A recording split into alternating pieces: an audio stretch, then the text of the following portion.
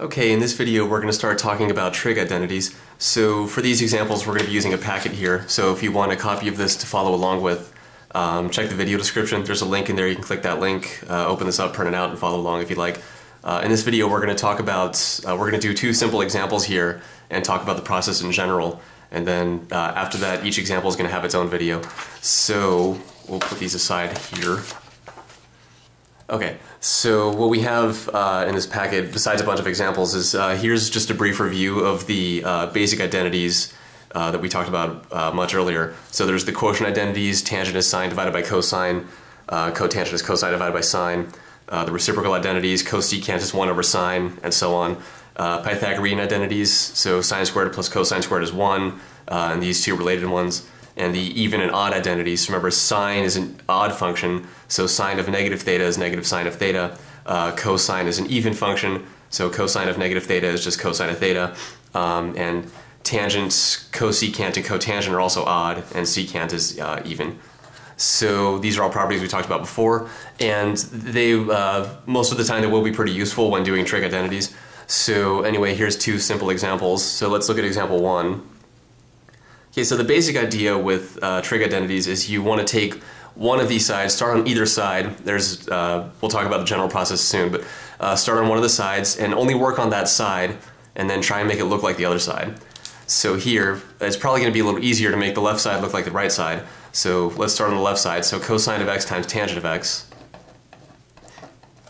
cosine of x times tangent of x equals, so one thing we could do is say, okay, well tangent so we still have the cosine here, but tangent is sine divided by cosine. Okay, so that's one of our uh, quotient identities. Okay. Uh, so then the cosines cancel, and then we're just left with sine of x. Okay, and that's what we wanted. Okay, we wanted to show that cosine of x times tangent of x equals sine of x. So that's uh, what we wanted to do, and we just did that here. Okay, so this is one of the uh, probably one of the simplest types of uh, establish the trig identity problems that we can have. Okay, so that's example one. Example two, uh, establish the identity. So same kind of thing here, just start on the left side and try and make it look like the right. Okay, so here cotangent of theta times secant of theta times sine of theta equals 1. So let's go ahead and establish this identity. So we'll start on the left side, cotangent of theta times secant of theta times sine of theta equals. So let's try the same thing we did before, where here we converted to sines and cosines. So we'll try that again. So cotangent of theta uh, that's cosine of theta divided by sine of theta. Secant is 1 divided by a cosine of theta. And sine of theta is just sine of theta. Okay. So uh, notice here, cosine of theta on top, cosine on bottom, they cancel. Sine of theta on bottom, sine of theta off to the side, which that's the same thing as being on top, because that's like sine theta over 1. Um, so the sine of theta is like on the top and it cancels with this one on the bottom. So what we uh, are left with is just one. Okay, so one on top, one on bottom, just a one. That's all we're left with. And that's what we wanted. Okay, we wanted to show that this expression here equals one. Okay, so that's two simple examples of establishing trig identities. So let's look at this process in general. Okay, so what's kind of unfortunate with trig identities is there's not really a specific set of rules uh, that will work every single time.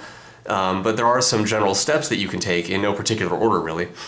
Um, okay, so the general process is, uh, this is the one thing you're always going to do, always, always, always. Uh, always start on just one side and try to make it look like the other side. So in other words, don't manipulate both sides. Okay, so you know when you uh, solve an equation, things like that, you're going to do things on both sides. You're going to add numbers to both sides, uh, multiply uh, both sides by a number, things like that. Um, but for trig identities, you only start on one side and manipulate just that side to make it look like the other side. Okay, so that's what you're always, always, always going to do. Never mess with both sides. Start on either side and uh, just work on that one side only. Okay? So be very careful about that. So we see here, uh, always start on one side and try to make it look like the other side. Uh, apart from that, there's no general strategy that will work for every type of establish the identity problem, but uh, here are some things to try in no particular order. So uh, start with the side containing the more complicated expression. It's actually pretty rare that you won't uh, have to do this. Uh, it's, it's pretty rare that you'll be starting on the side with the less complicated expression. Uh, it may happen every now and then, but it's still pretty rare. Okay. Uh, rewrite sums and differences of quotients as a single quotient. In other words, you get a common denominator. Uh, we'll see some examples of that. And uh, so that's like if you have maybe 1 over sine minus 1 over cosine, uh, you can get a common denominator there and simplify like that.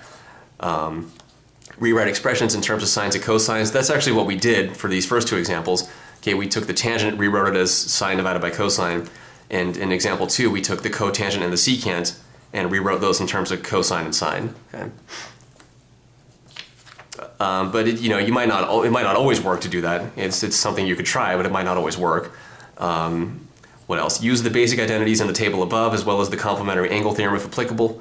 So uh, these basic identities in the table above, that's these that we talked about in the beginning of the video, uh, that we covered uh, much earlier in earlier videos. So uh, these will come in handy sometimes. Like we actually use this in example one, and uh, we use this in example two, and also uh, this one in example two. So factor, factoring can reveal identities that were hidden and can lead to reducing quotients. So I think we'll see an example or two of that in one of the later videos and also uh, keep your goal in mind. So related to this, uh, multiply by one or add zero in a useful way. So what does that mean?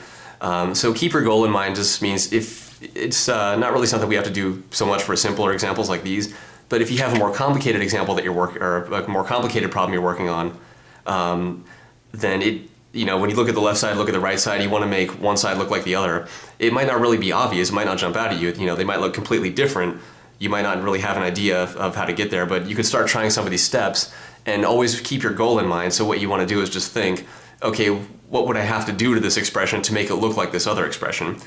Uh, so that's why you want to keep your goal in mind. And related to that, uh, you can often manipulate things by multiplying by one or adding zero in a useful way. So this is actually a common technique in math where you multiply by one in a useful way. Um, so if you have, if you're trying to get a common denominator, you know, you multiply the top and the bottom by the same thing, right? So that's, uh, that's multiplying by one in a useful way. That's an example of doing that. And adding zero is also a common technique, a, a little less common, um, but still it's, it's done. Uh, it, people do it. So anyway, that's, uh, we'll see an example or two of something like this. Okay. Also the complementary angle theorem. So remember that was just uh, something like sine of pi over 2 minus theta equals cosine of theta. So remember we talked about the complementary angle theorem um, in an earlier video. Okay, so that's uh, the complementary angle theorem says a bunch of things. This is one of them. So it also says that uh, cosine of pi over 2 minus theta equals sine of theta. Okay, so cosine and sine have this kind of relationship here. Uh, the same kind of relationship exists between secant and cosecant and between tangent and cotangent. Okay, so that was covered in an earlier video, and sometimes it is useful uh, for trig identities, and we will see examples of that uh, later on. So anyway, that's the general process here. Again, um, the only thing that you're always going to want to do in every single problem is start on one side, try to make look, try to make it look like the other side. Okay, don't manipulate both sides at once. Just start on one side, leave the other side completely alone the entire time, and try to make that one side look like the other side. Okay, and apart from that, uh, just try some of these in no particular order. And uh, it's pretty rare that you're going to start on the side with the less complicated expression, but it may happen every now and then. But anyway, that's the general process, and we're going to use this general process uh, in the examples coming up. So uh, examples one and two here, and example three is coming up in the next video.